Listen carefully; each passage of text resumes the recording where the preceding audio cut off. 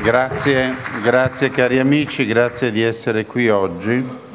Eh, già gli interventi di Bruno Dappei e di Giuliano Pisapia credo che abbiano inquadrato compiutamente quello che è il uh, ragionamento che vogliamo fare oggi insieme a voi.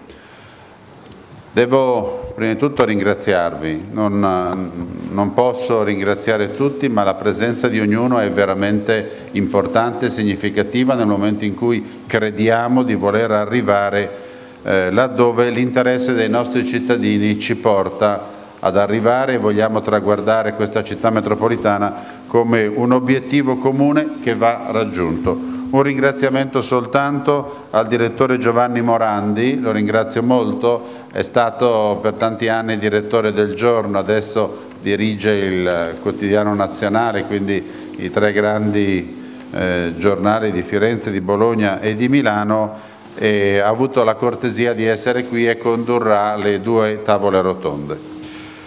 Grazie anche ai presidenti del, di molte di, tra le province che hanno vocazione di città metropolitana.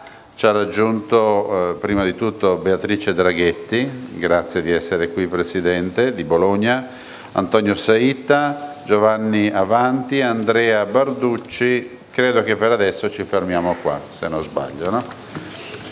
Il,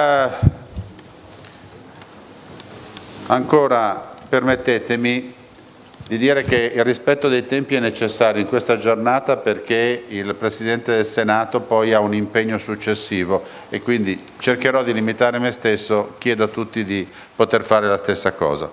Eh, permettetemi soprattutto di dare lettura di un messaggio del Presidente della Repubblica Giorgio Napolitano. Gentile Presidente, in occasione della giornata di lavoro dedicata al tema Costruire la città metropolitana, Invio a lei agli illustri relatori e a tutti i convenuti un cordiale saluto e i migliori auguri per un proficuo confronto su un aspetto di grande attualità per il governo del territorio. Giorgio Napolitano.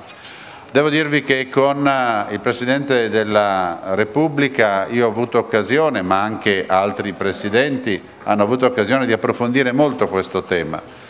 Io ho condiviso con lui cinque anni intensi al Parlamento europeo dove eravamo uh, due membri, i due membri sempre presenti e per caso due italiani, lui Presidente della Commissione Costituzionale, io Vicepresidente del Parlamento con la delega ai rapporti uh, con i Parlamenti nazionali. E vedendoci anche recentemente lui ha continuato a dire guarda ti garantisco che Napoli è la città che ha più vocazione per la città metropolitana. E io che conosco Milano e non conosco Napoli gli dicevano guarda ti garantisco che Milano ha una vocazione antica. E non è un caso che qui sia nato il piano intercomunale milanese più di 40 anni fa se non sbaglio eh, perché? Perché obiettivamente il nostro è un territorio storicamente armato ogni 20 eh, chilometri da, da, da, secoli vi è sempre stata una presenza forte sul territorio. Ormai lo sviluppo della uh, conurbazione fa sì che vi sia un continuo, non, non c'è assolutamente distinzione e se prendiamo uh, la strada per Sesto San Giovanni facendo il Viale Monza o si sta attenti a dove finisce Milano e comincia Sesto o non se ne accorge proprio. E questo è vero in tutte le direzioni. Allora dove noi dobbiamo oggi, questo è un momento di confronto di idee ma soprattutto di lavoro, vedo che il sindaco di Sesto San Giovanni è entrato proprio, ciao Giorgio, nel momento in cui parlavo della, della tua città, eh, dove noi oggi dobbiamo cogliere quello che è l'obiettivo necessario il tema è uno solo, qual è il vantaggio per i nostri cittadini nel momento in cui il governo metropolitano si attiva? Quali sono i servizi migliori che in base a un recupero di efficienza noi possiamo dare? Questo è il tema. Ebbene, credo che è già stato ricordato il, il, percorso della Carta delle Autonomie, solleciteremo il Presidente del Senato perché voglia dare particolare attenzione in questa direzione, ma io credo che vi sia una chiave di lettura. Cos'è il governo metropolitano? Una distinzione chiara di chi fa che cosa.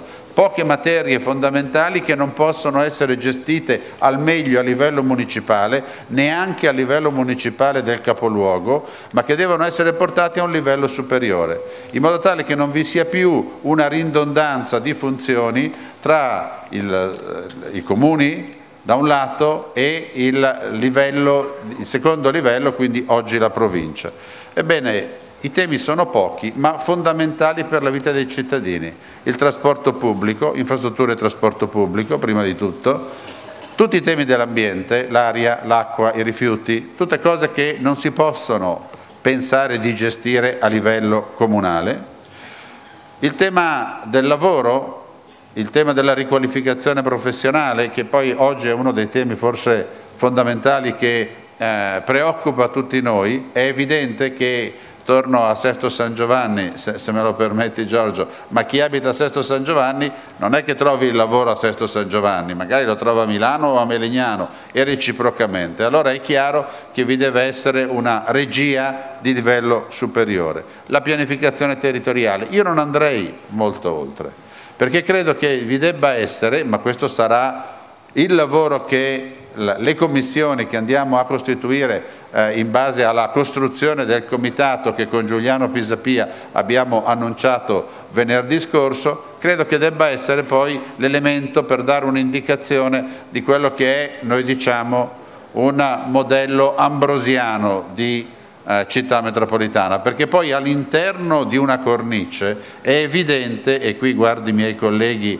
delle altre città metropolitane, è evidente che esistono delle specificità di territorio. Con Antonio Saita ci siamo detti molte volte tra Milano e Torino eh, vi è una forte similitudine ma anche alcune importanti diversità di territorio. E allora su questo poi vi sarà, io credo, anche la possibilità di dare alcune caratterizzazioni. Eh, vado molto rapidamente a terminare perché ridendo e scherzando dobbiamo recuperare mezz'ora. Eh. Io ho guardato la scaletta, eh, il, il tema è che poi il coinvolgimento massimo deve essere fatto oltre che a livello di consigli comunali e provinciali, con i sindaci del territorio. Comune, la provincia di Milano ha 133 comuni, oltre eh, al comune di Milano 1.800.000 persone vivono fuori dal capoluogo, 1.300.000 all'interno del capoluogo. E poi la partecipazione dei parlamentari. Qui saluto molti amici, colleghi parlamentari, è necessario che vi sia una coerenza, una condivisione di obiettivo se vogliamo veramente che finalmente si faccia ciò di cui si parla da 40 anni. Allora a volte uno dice ma se ne hai parlato per 40 anni eh, non riuscirai mai a arrivare in porto, non è così Esistono dei momenti in cui si può focalizzare un obiettivo, si può far sì che vi sia una condivisione ampia di forze politiche e qui devo dire che finora almeno nessuna delle forze politiche si è opposto a questo progetto comune, non è un caso, lo diceva eh, Bruno Dappei, che vi sia stata l'unanimità di voto per quanto riguarda il Consiglio provinciale il Presidente Basilio Rizzo eh, ci ha già detto una settimana fa di come vi sia una coerenza anche sul Consiglio Comunale di Milano. Nel momento in cui eh, Giuliano Pisapia è stato eletto dai cittadini di Milano sindaco di questa città, immediatamente ci siamo detti questo è uno degli obiettivi e rientra in una coerente eh, modalità di affrontare insieme i temi importanti per i cittadini che tutte le istituzioni, tutti i momenti di rappresentanza dello Stato devono dare in modo convinto al di là delle appartenenze partitiche e al di là delle appartenenze politiche. Anzi, lasciatemi dire che il fatto di essere espressione di letture diverse, di forze politiche diverse, in qualche modo ci dà anche la garanzia di un coinvolgimento più ampio e quindi della possibilità di creare un momento di confronto che sia il più eh, positivo possibile. Ho terminato, ce la faremo, dipende dalla nostra volontà di lavoro, mi sembra che ci sia tutta, gli obiettivi temporali che ci siamo dati è quello di arrivare nel giro di un anno ad avere una cornice definita, poi altri naturalmente affronteranno sia il tema storico che il tema giuridico istituzionale, Io dico soltanto, si possono fare le cose, siamo abituati a farle, l'obiettivo comune è condiviso, facciamo di tutto perché questa volta veramente si raggiunga l'obiettivo. Grazie.